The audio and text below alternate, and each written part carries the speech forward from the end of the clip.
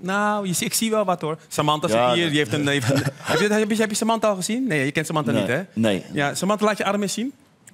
Die heeft Dirk Kuyt op de arm staan. Echt waar? Ja, kom even snel, kom nou. Ja, Gertrude zit erbij, kom. Laat even zien. Hallo. Kijk, doe. En wanneer, wanneer heb je dat- die laten plaatsen, Samantha? Gisteren. Gisteren. Maar je wist nog niet dat je hier zou zijn. Nee, dat nee. is niet. Wat Nee. wil je tegen hem zeggen? Oh mijn god. Nee, hij heet Dirk, heet hij. Dirk. Ehm, je deze tatoeage die heb ik gezet met een reden. En Ja. dat is... ehm, mijn vader is negen maanden geleden overleden. En we hadden samen één held. En dat was jij. We Ja. waren het nooit eens over spelers, maar alleen over jou.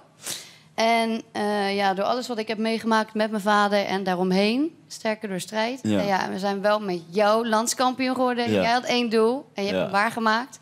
Dus vandaar 2016, 2017. Dankjewel daarvoor. Kijk. Ga lekker zitten, dankjewel.